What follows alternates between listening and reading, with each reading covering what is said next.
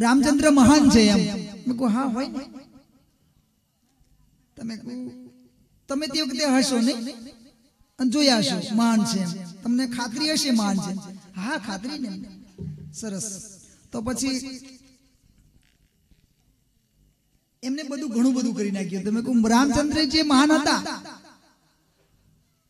તો માતા સીતા સીતા માતાને પોતે હયાત હોવા છતાં ત્યાગવી ના જોઈએ એમ.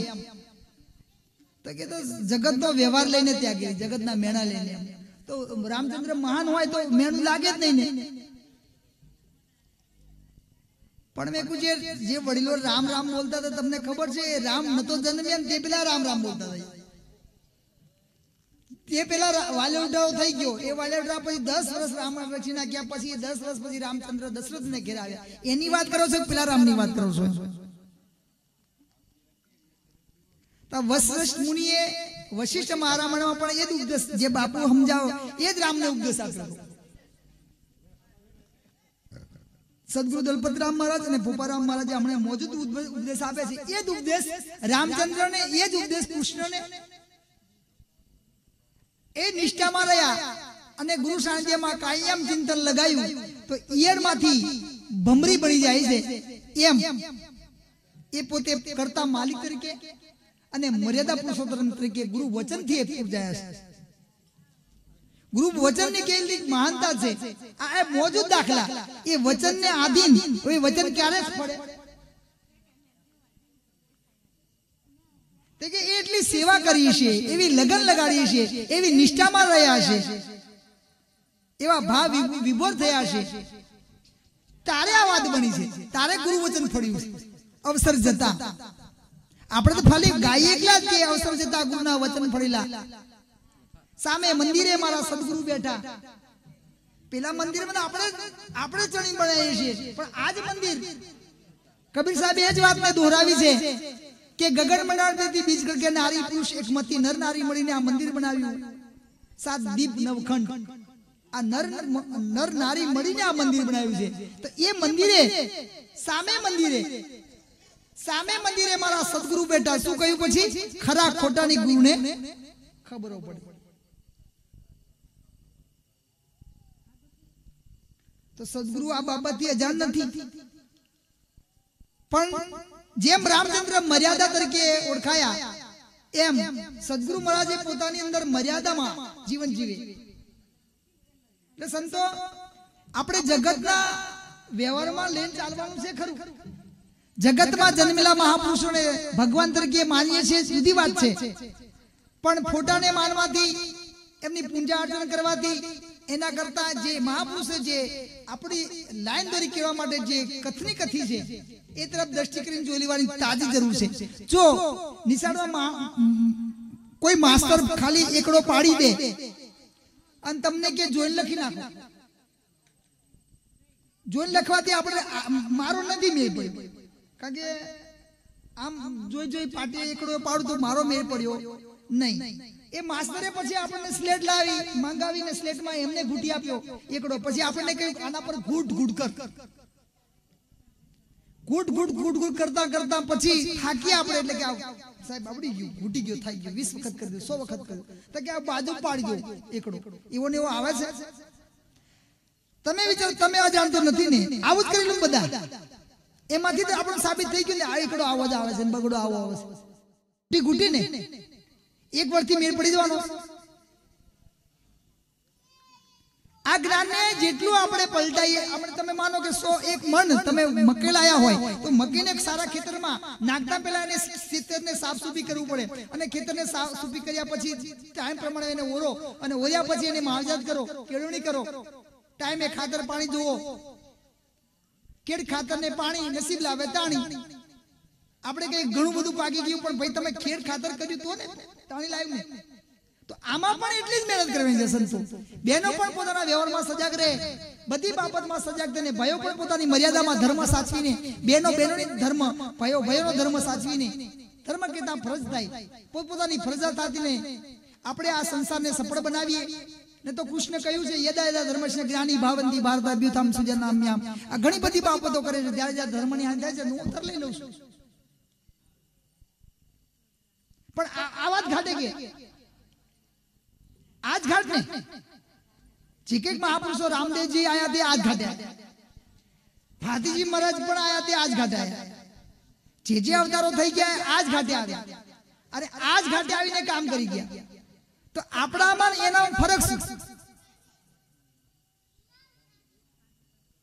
બધા ઘણી વાત કરી કે સંપ્રદાયો બધા જેટલા ગમે એટલા સંપ્રદાયો હોય પણ એ બધું એક જ જગ્યા જાય છે. આપણું શું ખાતરી? આપણને ખાતરી ખાતરી થવું જોઈએ. આપણે આમ જ કોઈ કપડા સરખું કે માટલા સરખું ખાતરી વગર નથી લાવતા. કોઈ પણ આઈટમ ખાતરી વગર નથી લાવતા આપણે. ચકાસી કરીએ ભાઈ, પહેલા તો. હમણાં સાપી લાયા તે પણ ખાતરી કરીને લાયા છે ભાઈ ભાઈ. હવે આવે ચાલીસ પચાસ રૂપિયાનું આવતું છે, પણ ખાતરી કરીને.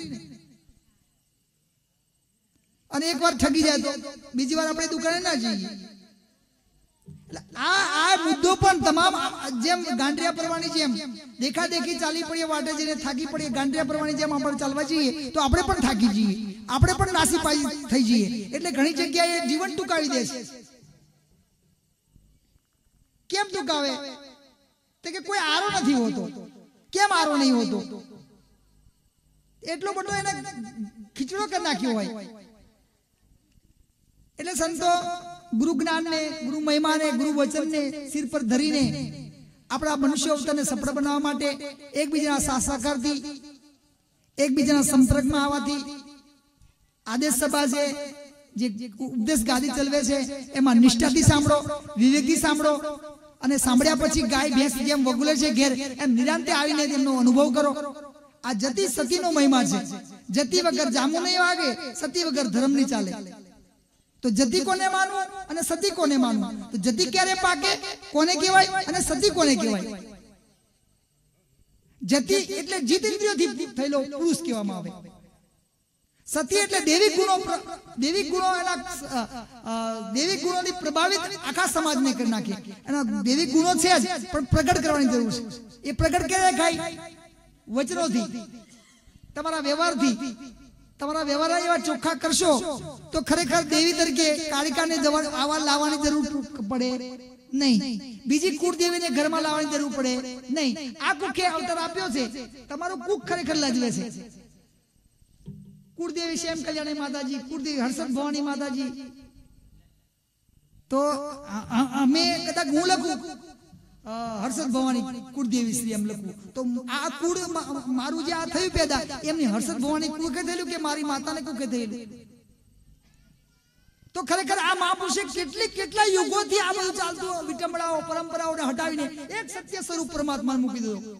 અને પહેલી બંદગી માતા પિતાને ભરવાની કેમ કહી જો માતા પિતા ના હોય, તો આ અવસર આપણે આ અવસર જે મળ્યો હોય એ ના મળ્યો હોય. અવસર ના મળ્યો હોય, તો પ્રસંગો ઉજવ્યા ના હોય.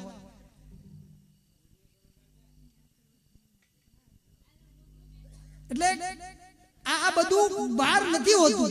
આપણા વ્યવહારમાં છે. એટલે બેનો સજાગ થઈને આ માયાની દુનિયામાં ભલે આ બધું જે નિર્માણ છે, માયાનું નિર્માણ છે. ભલે આપણે માયાના નિર્માણમાં છીએ, પણ માયાથી દબાઈ મરવા માટે આપણે સર્જાયા. નથી. આપણે બેનો થોડીક થોડીક વાર. થોડીક વાર આ બેનો થોડાક થોડાક થોડાક. સજાગ થઈ જાઓ. કારણ કે આ ધણીએ કહેવાયું છે કે મખિયા ચંદન પર હરે જહા રસ મિલે તહા જાય. પાપી સુને ન હરી કથા. ઊંઘે કાં તો ઉઠ જાય. આપણે મહાપુરુષે અદલ શબ્દ માર્યા. મખિયા એટલે માખી. ચંદન પર ચંદનનું લાકડું આપો એને ના ગમે. ગંધાતું હોય ત્યાં જ જાય. મખિયા ચંદન પર હરે જહાં રસમી મિલે જેવું ગંદા ત્યાં જાય. પાપી શુને ના હરી કથા આ અજ્ઞાની જીવડો એમાં અંદર જે ગરકાવ થયેલું હોય કારણ કે બધાને લાગી છે હું કહું લાઈ લાગી ઘરો ઘર સંતો લાય લાગી ઘરો ઘર બ્રહ્મા બી જલ ગયા વિષ્ણુ બી જલ ગયા ચલ ગયા શંકર જટાધારી સંતો લાય લાગી ઘરો ઘર આ દરેકમાં લાઈ લાગી છે. અને કવાયું છે, રામ મેં તો જેને જોવું તે નર દુખી મારા રામજી. એ રામ મેં તો જેને જોવું તે નર દુખી મારા રામજી. રામ બી દુખિયા ને લક્ષ્મણ બી દુખિયા ને સીતા નારી ન હોય સુખી મારા રામજી એ રામ મેં તો જેને જોવું તે નર દુખી મારા રામજી. આપણે ગાય ગાય કદાચ મારો વોઇસ રાગ સારો ના હોય બીજા કોઈનો સારો હોય એટલે મજા પડી ગઈ બસ. આપણે એના સિવાય કશું સારું સારું આઈટમ ખાવાની પણ આજે દાળ સારી હતી, ભાત સારા હતા લાડવાઈ સારા હતા, ચટકા બનાવ્યા તો કે મોહન દાળે સારો હતો, બુંદી સારી હતી. આપણે બસ સ્વાદ્યા એટલે સંતોએ ભજનમાં ગાયું કે આવડું મોટું ડોબું ચોથી લાયો દૂધના હવા દિયા એમ. આપણે હવાદમાં હવાદમાં બધા પતંગિયા લોભાઈ જાય છે અને હવારે ઉડે તો પેલો ભમરો પૂરો થઈ ગયેલો હોય, પાયડું ખુલે. આ અવસર આવ્યો છે. આપણને આ કિલ્લાની અંદર બેઠા છે. જન્મ અને મરણ વચ્ચેનો જે ઘાટ છે, એ આ કિલ્લામાં આપણે બેઠા છે. આ કિલ્લામાં ચાલતા ચાલતા જઈએ છીએ આપણે. પણ આપણે બધા રોગ્યો છે દાદરના ખજવાડવાળા કોઈક સમરસ સદગુરુ જયારે એ બતાવે છે ભાઈ આપણે હેરાન થઈ જઈએ છીએ મારે બસ બહાર નીકળવું છે આ ગામમાંથી. તો આવા સમરસ સદગુરુ બધા ભાઈ, એવું કર. હમણાં ફૂલ બનાવી ચાલતો ચાલતો જા. અને દરવાજો આવી ગયો પાછા ખજવાડ ઉપડી જાય આપણે આ વિષય વિકારોની બધી, વ્યસનોની ફેશનોની એટલે એમાં પછી પાછા પેલો દરવાજો, આ દરવાજો ચૂકી જવાય. પાછો બીજો દરવાજો પાડાનો ગધેડાનો, કૂતરાનો, બિલાડાનો દરવાજો પાછો આવી જાય. એટલે એ દરવાજો તો મેળે નથી પડવાનો.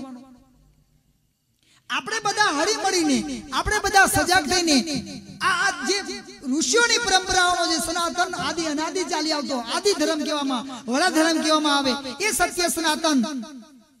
જે ઘટ ભીતરમાં રોમ રોમમાં રણગાર છે, એને સૂર્યચંદ્રના પ્રકાશની જરૂર નથી, એ સ્વયં પ્રકાશિત છે. રોમ રોમમાં એનો રણગાર છે. બહાર નથી તમે આપણે મનથી ભાંગી પડેલા છે. આ મન મક્કમ મુસલમાન હજ પડવા કઈ જાય? મક્કા જાય. અને અહીં ઢીલા. અહીં ઢીલા. એ જો બેઠા બેઠા મક્કા રે, મક્કમ રે, તો મેળ પડી જાય કે નહીં? આપણે પણ મક્કમ થવું જોઈએ. જે ગુરુ ગ્રાજ આપણે નમલાયા જેમ માઈક આંગલા જેમ શું કા બેસી રહીએ? આપણે થોડા નમલાયા છીએ. સમરથ ધણી આપણા માથે છે.